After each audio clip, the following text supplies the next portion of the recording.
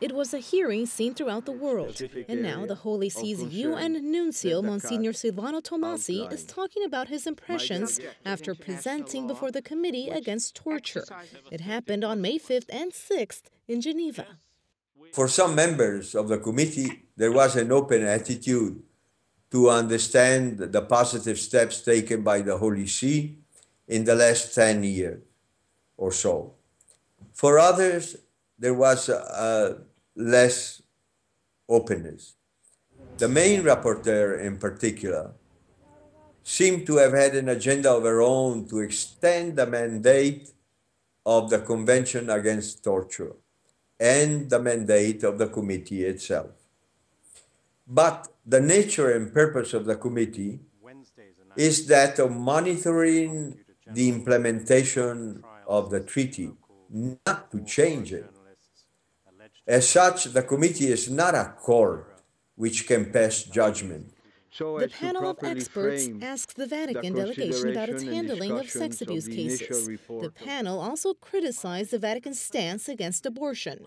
Tomasi says answering those questions wasn't the problem, but rather the panel's ideological mindset. In addition, penalties imposed by the civil authority the Holy See exercises a further spiritual penalty upon clergy guilty of crimes of sexual abuse of minors, including removing the person from the clerical state. As I mentioned to the committee, the example of 848 clerics dismissed from the from the from their status as priests from 2004 to 2013 is a clear indication that the Holy See has not been without uh, concern or inactive.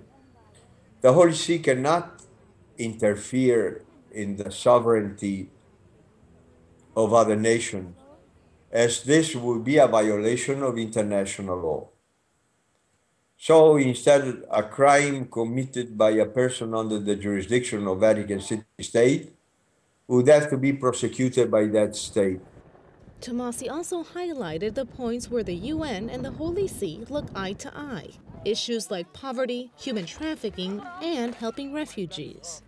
At issue, he says, is that some UN officials try to promote their ideological views and not the consensus of member states the excesses of some functionaries or experts employed by the UN who tend occasionally to promote their ideological conviction instead of following the conclusions arrived at democratically by the member states offer the occasion for legitimate criticism.